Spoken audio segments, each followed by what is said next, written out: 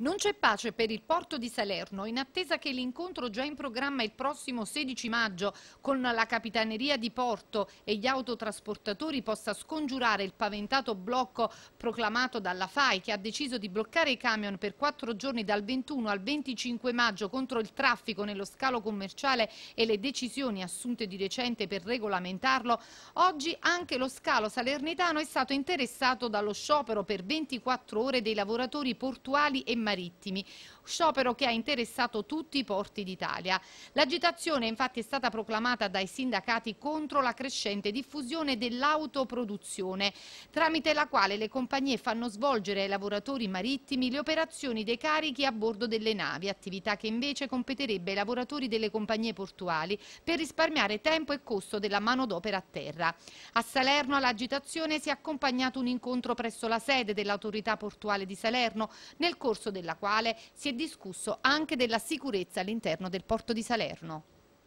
Sì, eh, l'autoproduzione è una conseguenza anche tutto, della sicurezza perché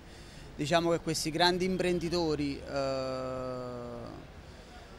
sponsorizzando ovviamente, cacciando, investendo, eh,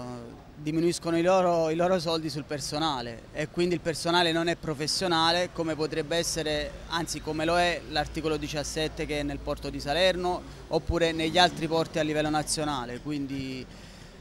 monopolizzando si crea anche questo, questo problema della sicurezza che è un problema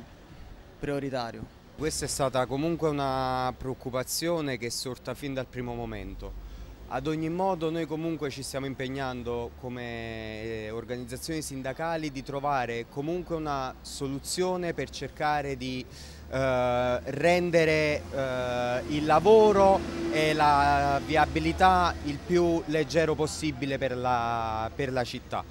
Questo sciopero proclamato dagli autotrasportatori io lo ritengo, lo ritengo anche giusto, ma noi come organizzazioni sindacali monitoreremo la situazione per cercare di creare minori disagi possibili sia all'interno del porto che all'esterno.